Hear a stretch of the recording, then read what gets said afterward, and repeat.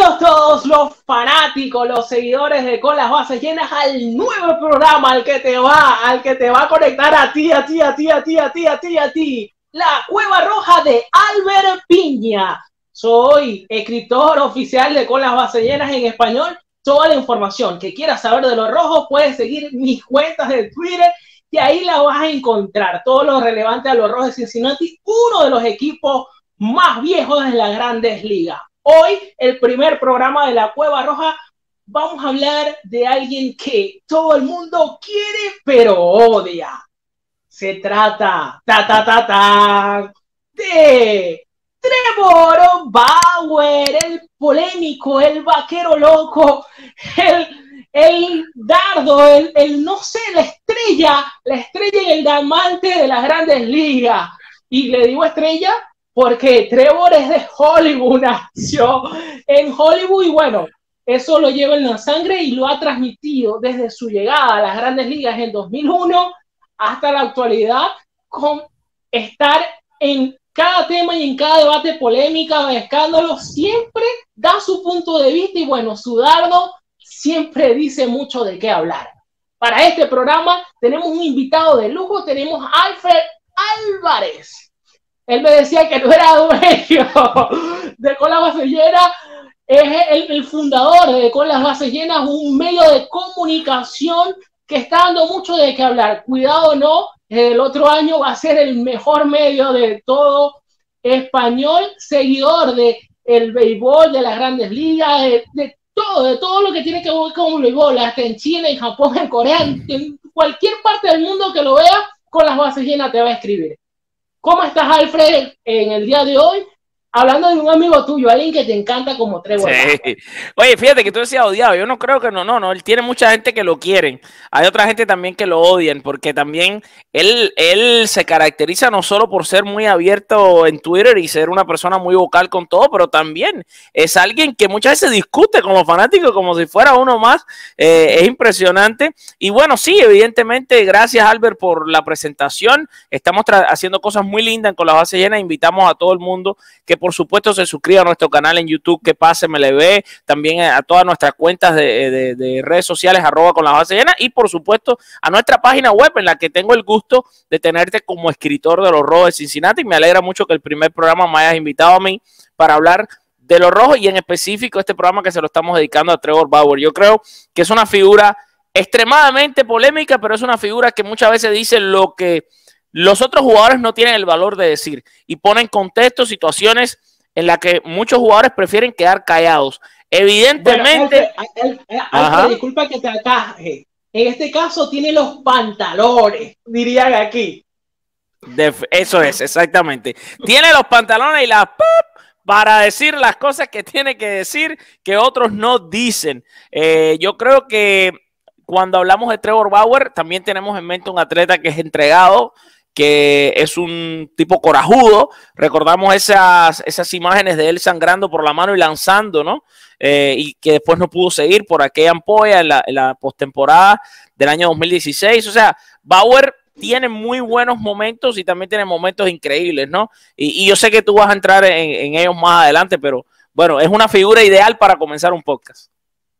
Pero es, alguien que, se ha robado, ejemplo, desde que llegó a, Cincinnati, que, que solamente tiene son, eh, va para cumplir apenas su segundo año y es alguien de los más queridos. Hoy eh, estaba viendo en, las redes sociales y vi en Twitter alguien dice, eh, Trevor, te adoro.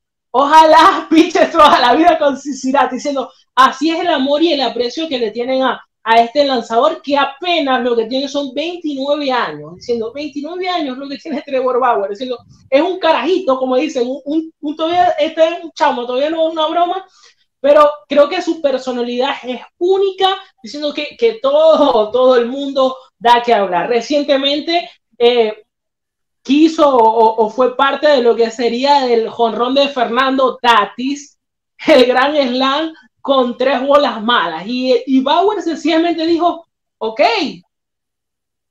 yo voy a opinar porque yo soy parte de esto y todo lo que pase aquí, yo tengo que decir algo.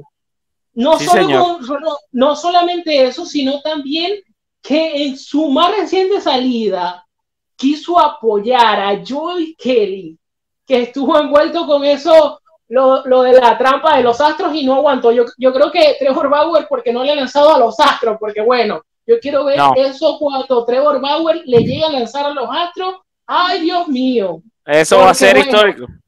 Eh, bueno, él prometió pelotazos. Él fue de los lanzadores que prometió pelotazos para esta temporada. Y que cuando supo que ya no iba a enfrentar a los Astros, lo puso en Twitter y dijo, ok, se libraron de unos cuantos pelotazos, pero yo le iba a regalar unos cuantos.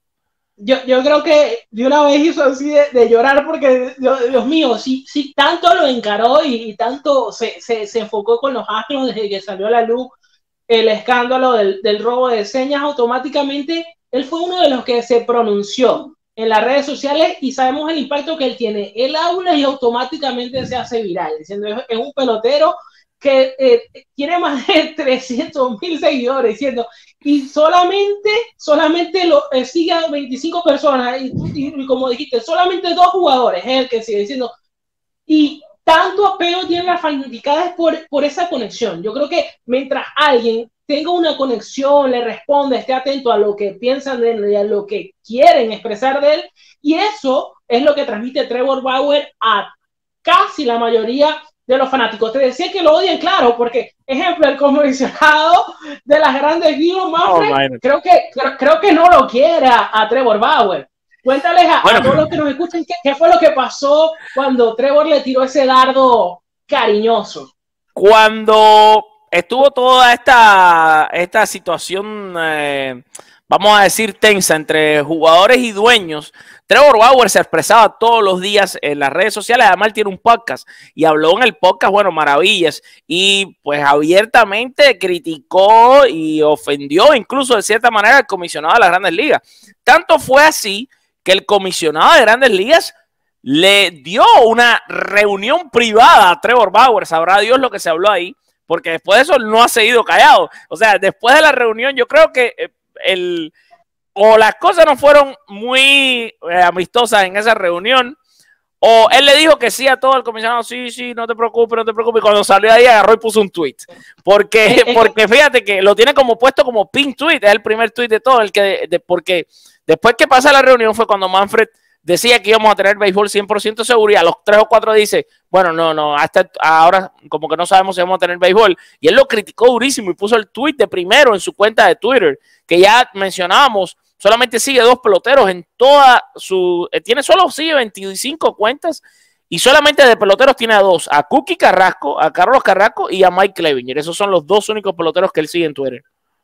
Y hay compañeros de él, con los, estuvieron en los Indians de Cleveland eh, para los, que no saben, este, Bauer inició con eh, los Diamondbacks de Arizona y luego fue eh, pasado lo que sería a los indios de Cleveland, donde estuvo seis temporadas, seis temporadas en los indios, que vivió diferentes momentos. Tú hablaste de esa, de esa mano ensangrentada y también cuando, creo que uno de los episodios más recordados fue cuando lo iban a sacar que agarró la pelota y la lanzó al center field, diciendo hay que tener valor y guáramo para eso, porque desde que uno está niño, diciendo uno anteriormente, esto pasaba y anteriormente uno entregaba la bola, hoy en día no, hoy en día le, entregaba la bola al, al, que lo iba a reemplazar, en este caso al relevista.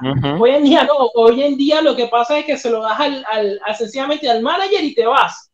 Pero imagínate, no se la quiso dar, sino que la lanzó, diciendo, ese espectáculo muy poco pasa en Trevor. Es, un caso espectacular. Y recientemente, en uno de, estos partidos, hizo hasta como el, luchador irlandés este, Gregor McGregor en relación imitando lo que sería su movimiento. Diciendo, fue algo curioso que también llama la atención y bueno, diciendo, solamente lo podía hacer él, él y sus locuras, diría miles de, de fanáticos. Eh, la locura más reciente que, tenemos que hablar de ella es esto de las zapatillas.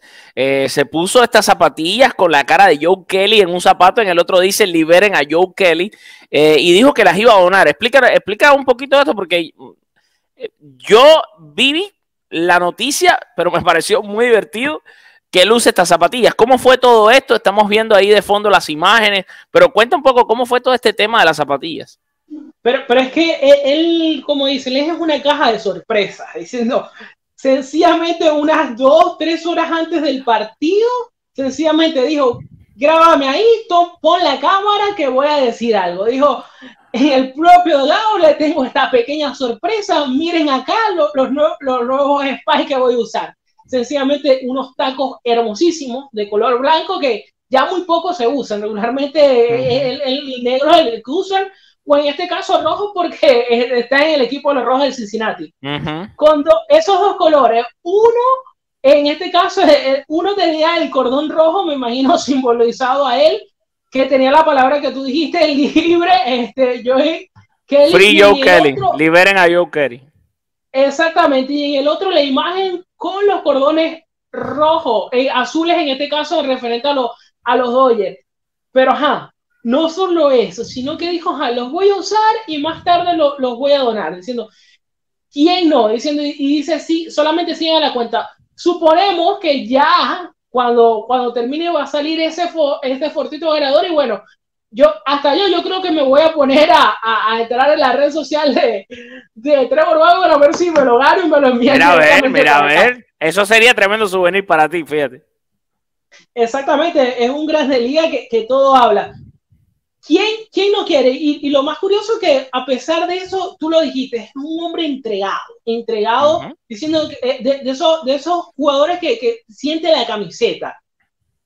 Y lo demuestra cada vez que está en el montículo. Yo creo que él es uno de estos, de, de estos lanzadores que va a extrañar batear, sino no, es, no destaca tanto, pero creo que como ama y le apasiona tanto este juego, extrañará montar, este, visitar la caja de bateo y hacer algunos swings.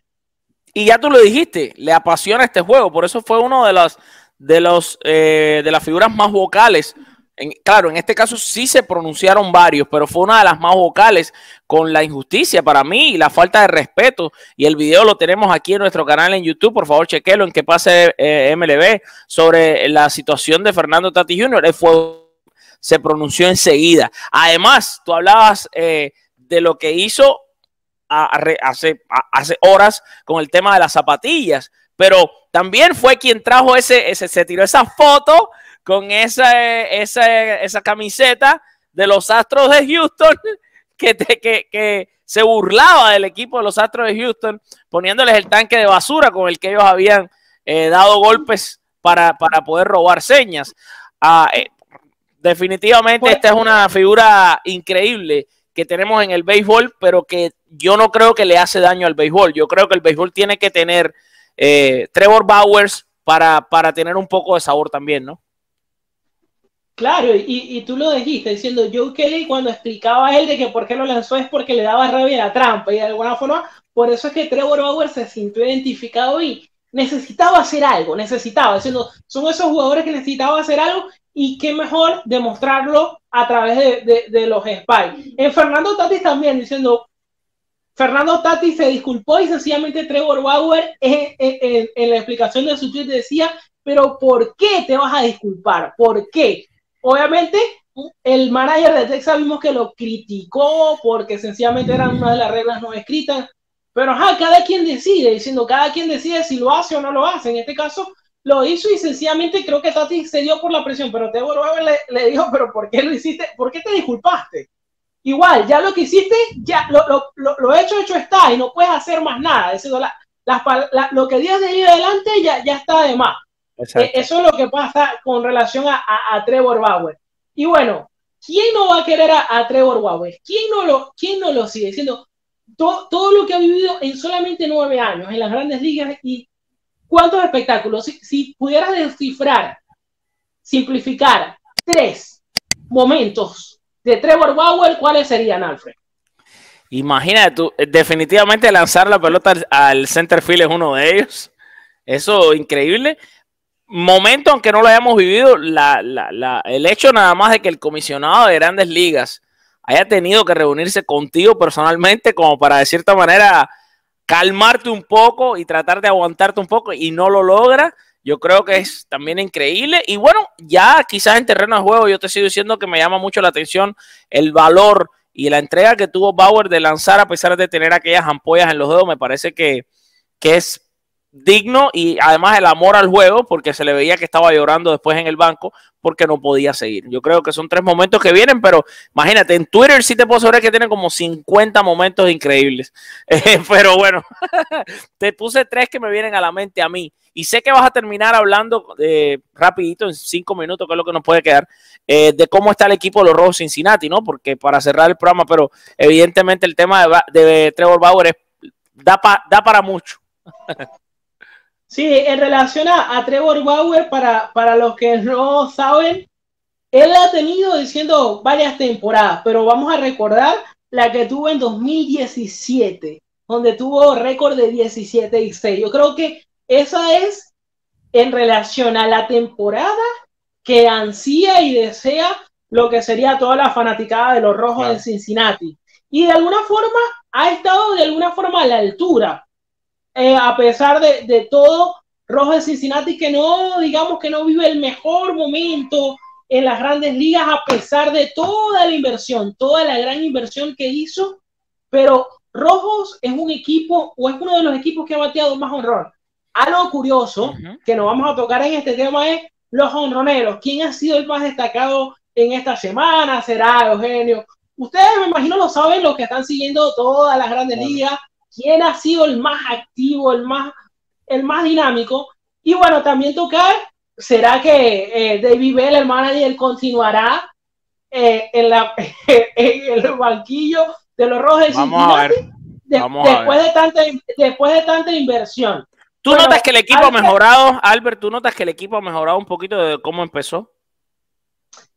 El, equipo ha tenido altas y bajas. Sencillamente no ha tenido todos sus equipos clave con esta pandemia vimos que en un momento Mustaka se fue, Nixil se fue, este, también se fue este, eh, se fueron varios jugadores diciendo recientemente y no ha estado clave. Incluso este, White eh, tampoco estuvo primera salida, le dieron, eh, eh, cayó apaleado, su siguiente salida se la tuvo que perder por lesiones, sino no ha estado completo. Lastimosamente, digamos que Luis Castillo es uno de los, de los lanzadores abridores que no, ha rendido lo que se esperaba, yo digo, en todas las fanaticadas de, los de los rojos de Cincinnati.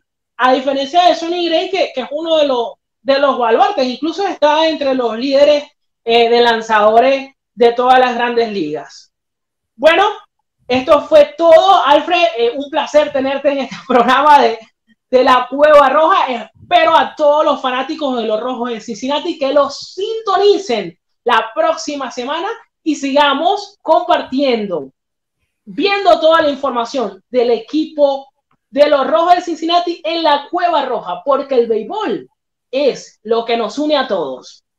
Hasta luego. Chao.